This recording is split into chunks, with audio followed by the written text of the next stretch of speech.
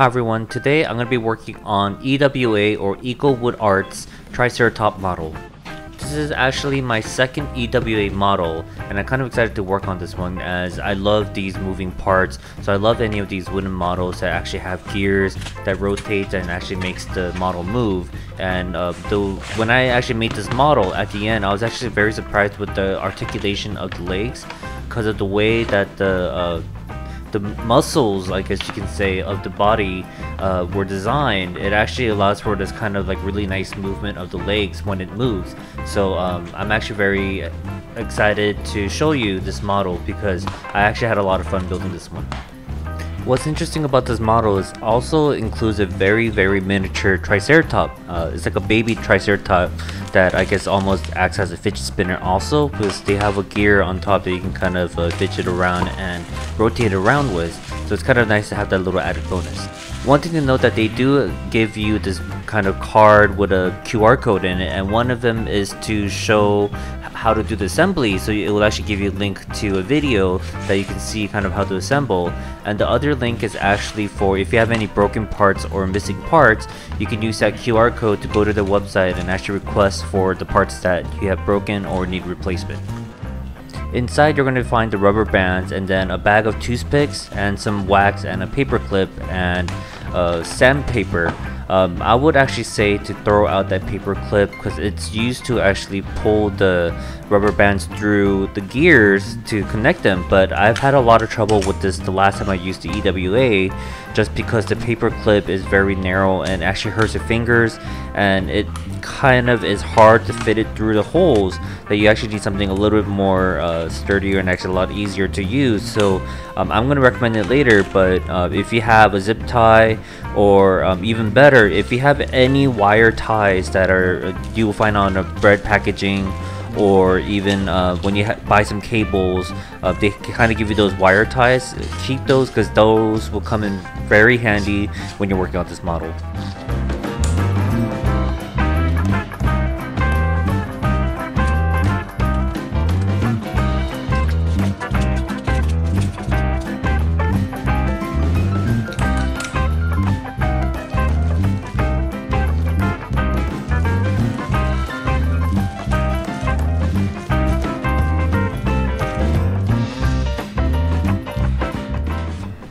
So I tried something new in this video of trying to use my uh, my saw for model making to see if I can cut the uh, the toothpicks a little bit easier. And uh, although it cuts pretty nicely it's actually more time consuming and it actually wasn't worth um, using um, it kind of flew everywhere too. So what I actually ended up just doing was my old way, method of doing it which was just using a, a, a, cutter like a wire snipper to just kind of snip it off and then I would go over again with X-Acto knife very close to the surface and just kind of saw off the remaining piece that might be sticking out. Um, it's a lot faster to do it this way. Um, another method that you could use is actually using the X-Acto knife from the beginning and just kind of uh, score it halfway in and with your fingers you're able to actually actually snap off the remaining toothpick part and then go with the X-Acto knife and just kind of uh, clean it out afterwards.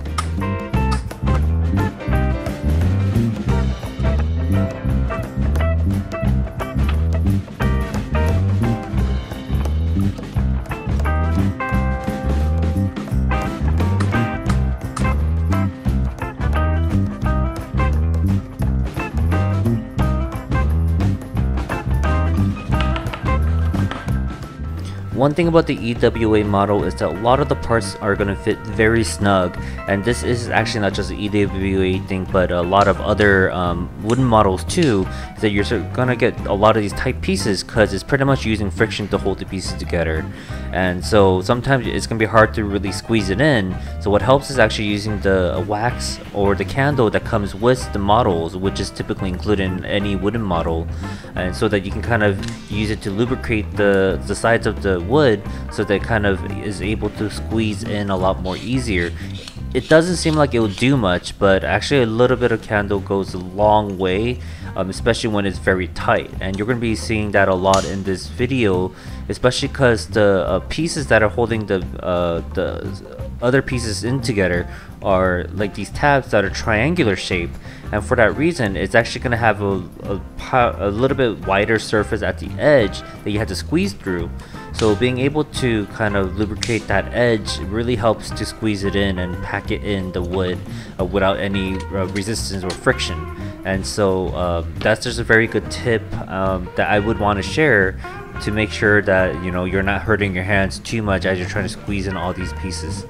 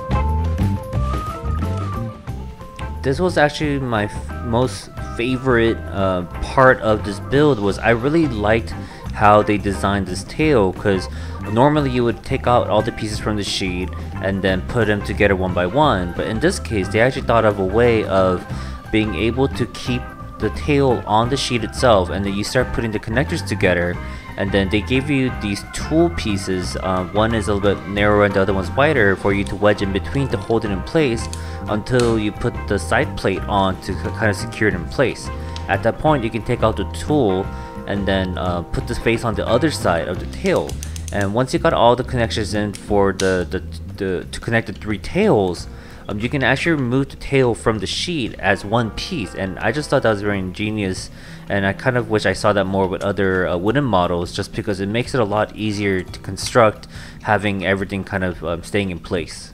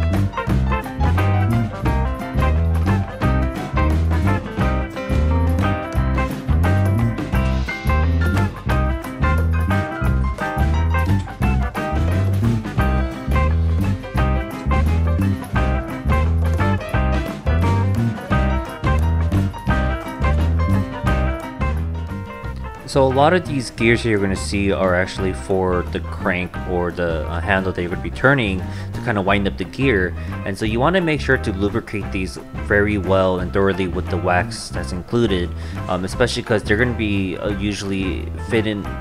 between a lot of wood and you don't want that friction to slow it down or kind of stop the, the gears. Um, even a little bit of resistance will actually make it hard for the parts to move so you want to make sure to have it be very smooth by using sandpaper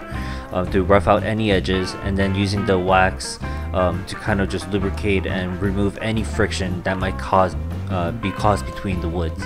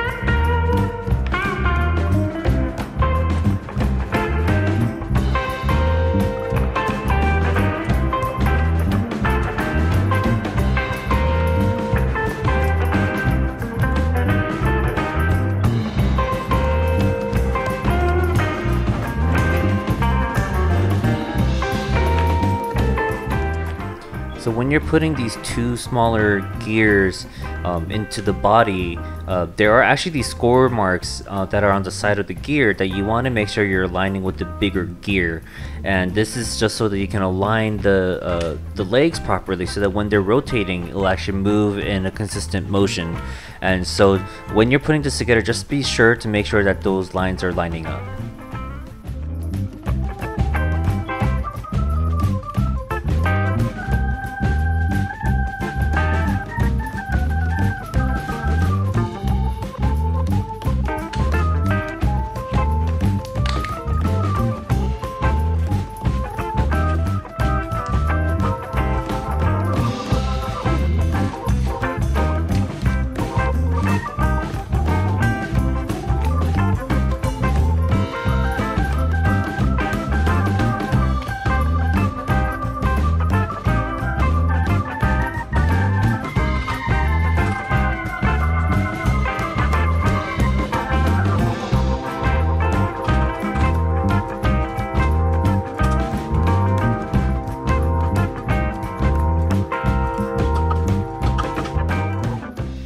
Bag comes with multiple lengths of these wooden pegs and so what they did was they include one of the pieces as a measuring uh, tool so that you can use it to measure the lengths of the pegs so they can identify which pegs to put in at a certain location.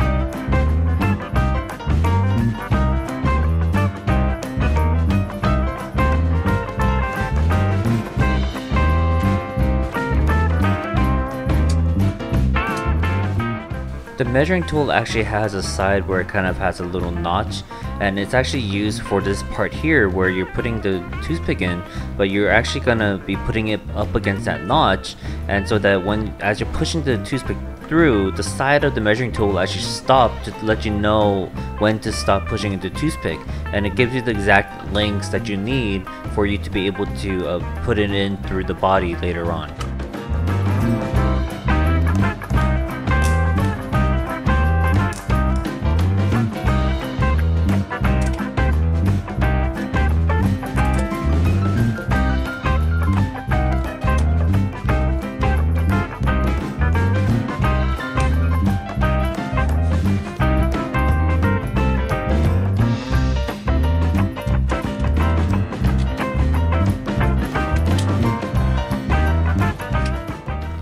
If you see in the middle of the hole there are these slots that are horizontal, be sure to make sure that um, those slots are actually lining up because if you don't, you're actually going to have to remove the, the faces again and actually realign them so to make sure that the, all the slots are uh, aligned because you're actually going to be putting in the rubber band gear through those slots later on.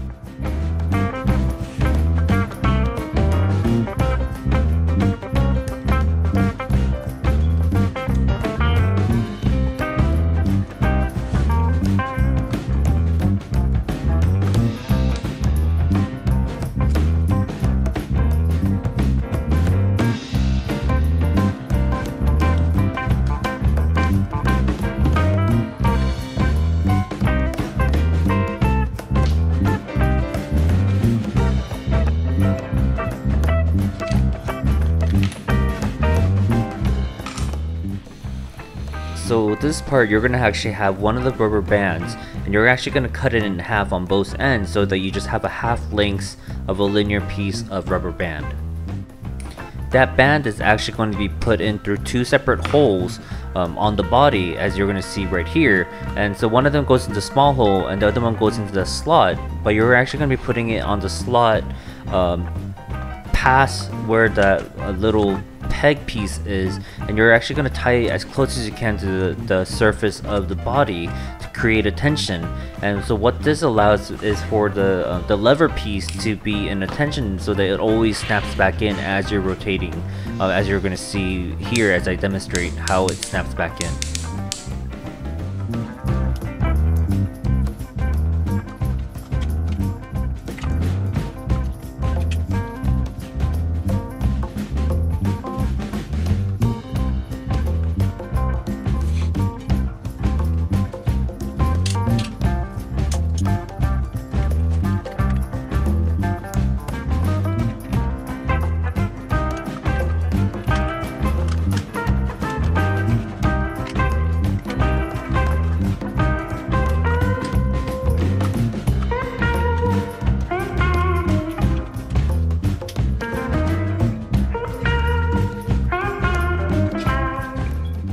As you can see here, as I'm pushing in this piece, the two uh, spinal pieces that were attached to that uh, bracing piece was actually being pushed down. So it was actually hard to get this other bracing piece in and aligned properly because it kept pushing the spine down. So what I did that's not being shown on this video is I actually used a needle nose plier that's long enough to go in from the other side and push up on the spine against the backing so that it can kind of snap into place.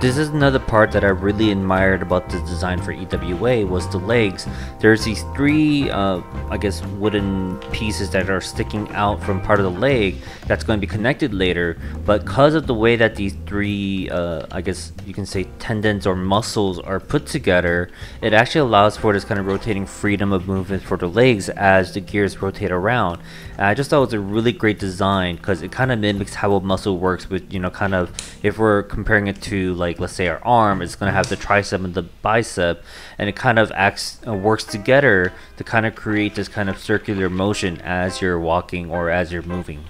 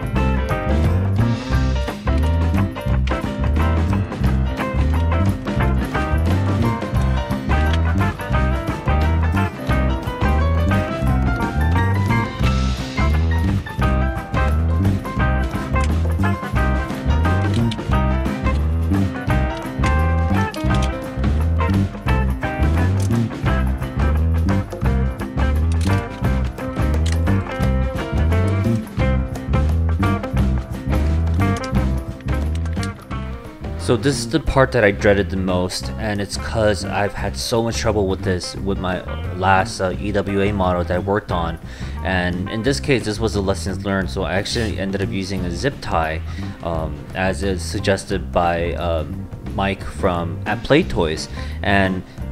I actually, what he told me was to use a bread tie, but I heard it as a zip tie. Um, and though I had a smaller zip tie, but I couldn't find it, so I ended up using a bigger piece. But the bigger piece came out to be difficult just because the head of the zip tie was a little bit bigger than the hole allowed for. I had to kind of really squeeze in through the, the hole on the other side. But if you have a smaller zip tie, um, it might be able to work. Or as Mike suggested, um, it would be actually easy if you just use your bread tie and kind of tie it in on one end and just pull it through. And after you get the rubber band through the T-shaped piece that is inside the gear and wrap around it, you can actually remove the bread tie or the, the zip tie um, to have the rubber band be secured.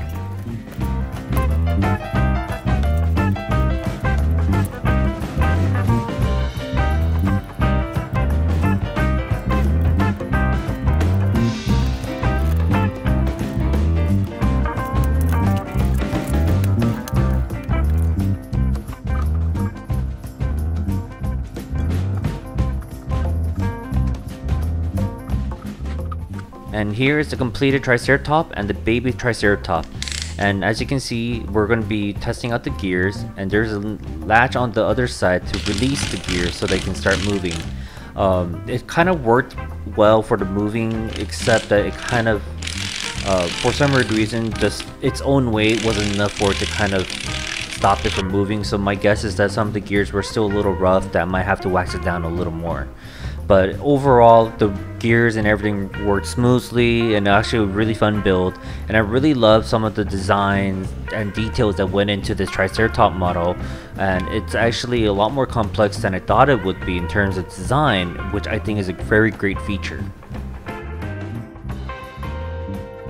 Thank you for watching and if you enjoyed watching this video please hit that subscribe button and also hit the bell or the notification if you want to get notified when I make new videos and I upload them.